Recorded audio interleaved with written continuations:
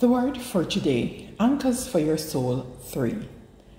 Third, anchored by God's promises.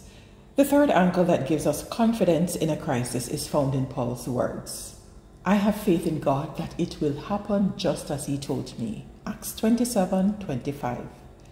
If you've been betrayed by an unfaithful spouse, you may have lost trust in marriage. If you're a victim of the mortgage crisis, you may have lost your home and your trust in the financial industry. If you voted for someone you believed had integrity, only to discover they were in the pocket of special interest groups, you may have lost your trust in government. But never ever lose trust in the promises of God. Look in the face of your storm today and sing the words of this famous hymn by Russell Carter Standing on the promises that cannot fail when the howling winds of doubt and fear assail, by the living word of God I shall prevail, standing on the promises of God. You may lose your cargo, you may lose your ship, you may even go overboard, but you're going to prevail because of God's promises to you.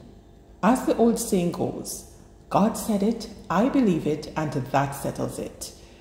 If you're in crisis today, here are some Bible promises to stand on.